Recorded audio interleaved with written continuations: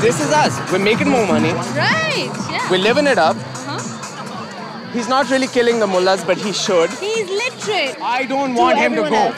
Yeah, That's no it. Neither I don't want him to go. Neither do I. I, are you? Hold on. You're going to vote for him. I'm going to vote for him. Yeah. Is everybody going to vote for him? Yeah. You don't even know what's going on in Pakistan. gonna I know what's going on. You don't know these fucking mullahs. Do you know what they're doing?